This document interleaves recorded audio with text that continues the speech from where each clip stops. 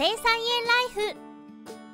えー、杉並区で菜園をやってます高橋です。今日は、えー、9月前半にやっていいことと、えー、悪いことをご紹介します。9月前半はですね、夏野菜の収穫が終わって、えー、そろそろあの、秋冬野菜のですね、こう準備を始める時期ということで、まあ皆さんもすごいお忙しくされてるんじゃないかと思いますけれども、やはりこの時期にですね、ぜひともやっぱりやっていただきたいこと、まあ逆にこう、これはやらない方がいいことっていうのはいろいろありますので、ぜひ、えー、ご参考にしてください。最後に、えー、質問にもお答えしていきますので、えー、ぜひご覧ください。では、行ってみましょう。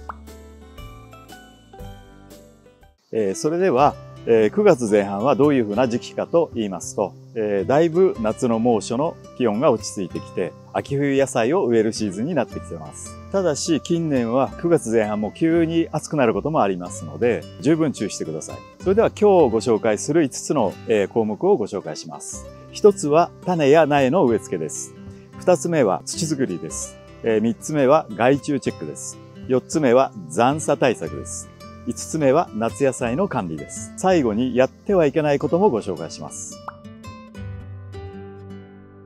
それでは本題に入ってきます。一つ目は苗の植え付け、種まきです。9月前半の苗植え、種植えは非常に重要です。1年間の中でもこの時期の、え苗植え、種植えのタイミングを逃すと、え失敗の原因になりますので注意してください。え秋冬野菜っていうのは1週間、えー、苗植え種植えの、えー、タイミングがずれると大きな影響が出ます。例えば、白菜、キャベツが結球しない、大根が大きくならない、えー、11月、12月に、えー、露骨に結果に現れますので、えー、十分注意が必要です。この点が、えー、夏野菜と違う非常にシビアな点です。こちらにキャベツの苗がありますが、秋冬野菜の苗は非常に、えー、ナイーブな苗です。少し置いとくだけで、えー、徒長したり、枯れてしまうことがありますので、購入して早い段階で植えるようにしましょう。ままた、育苗されている方は、えー、適当なタイミングで、えー、定食するように土の準備もしっかりやっていきましょう。では実際に植えていきたいと思います。えー、通常ですね、苗を植えるときには、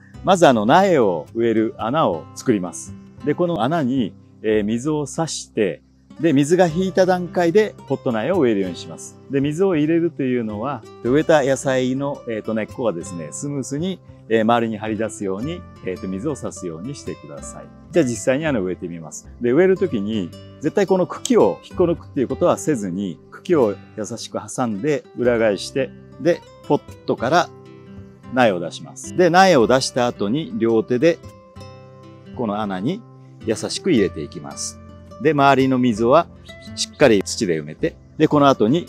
水をたっぷりあげて、えー、植え付けます。最後に、えー、防虫ネットを張って完了です。この作業は、えー、地域によりますけれども、えー、9月の中旬ぐらいまでに、えー、行うようにしてください。それ以降はどんどん気温が下がりますので、生育に、えー、影響が出てきますので注意してください。二つ目は土作りです。玉ねぎ、じゃがいも、ニンニク。これらは30度以上の気温の時に植えますと、種芋が腐ったり、種球が腐ったり、えー、うまく生育しないっていうことがありますので、えー、9月前半に土の準備をして、えー、9月中旬ぐらいに植え付けるようにしてください。じゃがいももニンニクも初期生育が非常に重要です。気温が落ち着いた時にすぐ植えられるように、9月前半の早いタイミングで土作りをやっていきましょう。こちらにはじゃがいもの土作りをしています。えどうしても9月前半は、え暑い日がありますので、まだ植えるには適さない場合があります。そのような場合には、え9月に堆肥を入れるようにして、1、2週間すれば分解が進みますので、その後植えるようにしてください。8月中に生えた雑草は、えしっかり取ってから、え土作りをしてください。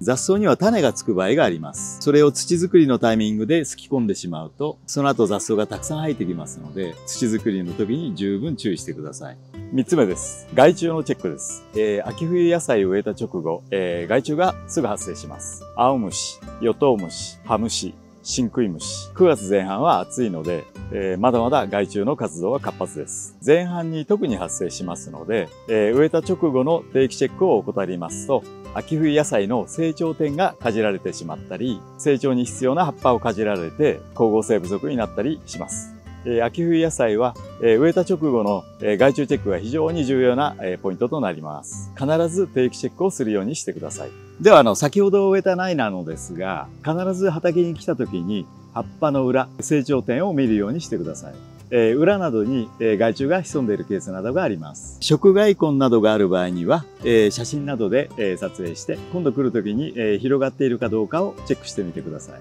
え広がっている場合には、え付近に潜んでいるかもしれません。マルチの中なども、えチェックしてみてください。えー、植えた直後で、えー、注意していただきたいのが、コガネムシの被害です。コガネムシの幼虫などがですね、えー、この下にいるとですね、あの、根を食害されるようなケースがありますので、そうするとですね、急にこの苗がですね、元気なくなって、黄色くなって倒れて枯れてしまうというような現象が起きますので、そういう時にはすぐ一度こう抜いていただいてですね、あの、根の状態を一回チェックしていただいて、根がかなりもう食べられてるようであれば、もう、あの、植え替え、えしていただく方がよろしいと思います。苗の土の下に、えコガネムシなどの、え幼虫、ヨトウムシなどが、えいないかどうかっていうのを一度チェックしていただいてですね、いる場合には取り除いていただく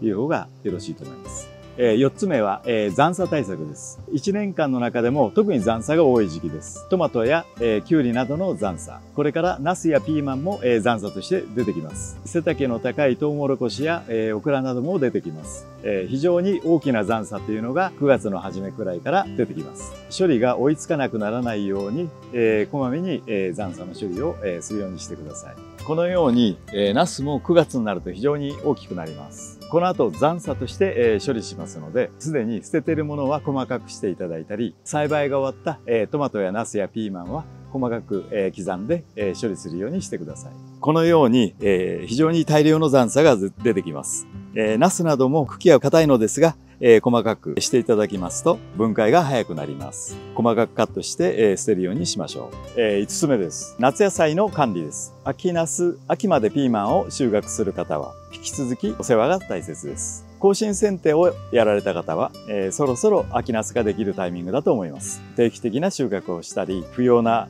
葉っぱを、え、カットするなど、夏の作業でやっていた作業をまたやるようにしてください。ピーマンなどもしっかり、え、剪定しないと、秋の収穫があっという間に終わってしまいます。こまめな作業を意識するようにしてください。こちらをご覧ください。これから秋ナスがどんどん取れると思うのですが、少し、え枝などが、え伸びすぎている状態です。え実もちょっとつきすぎですので、あっという間に、えなり疲れになる可能性があります。やはりこのように、え枝を伸ばしっぱなしにせずに、えしっかり剪定をしながら収穫するようにしてください。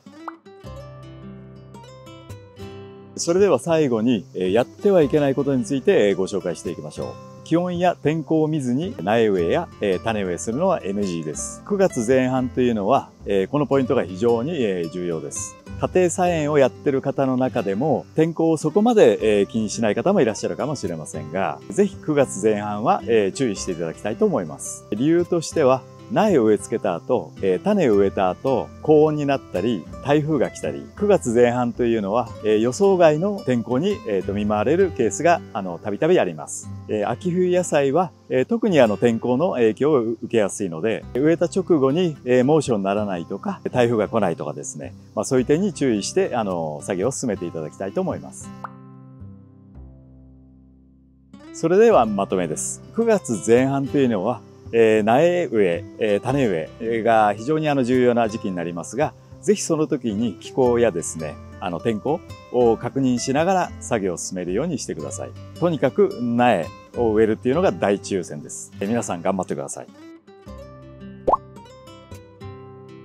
質問コーナーです。こちらの石灰の使い方に、えー、コメントをいただきました。石灰を入れた後に、えー、どのぐらい、えー、酸度の変化があったんでしょうか石灰の量をいろいろ変えて、えー、自分で実験したのですが、目立って酸度は変わりませんでした。というコメントです。私の場合は、えー、大体酸度が、まあ、5.5近く、もしくはそれを切った、切るような場合には、えー、積極的にあの石灰を投入するようにしていますが、大体あの、改善値としては大体コンマ、まあ、5前後ぐらいじゃないかと思っています。で、量を変えてもですね、え数値が変わらないということですけれども、あの、ぜひともチェックしていただきたいのは、本当にその酸度計がですね、正しい値を拾ってるかどうかっていうのを、あの、もう一度チェックしていただければと思います。例えば、あの、電極の部分がですね、酸化してしまうとですね、なかなか正しい値を拾うことはできませんので、表面のその酸化膜を剥がすように、例えば、あの、紙やすりなどでですね、あの、削ってですね、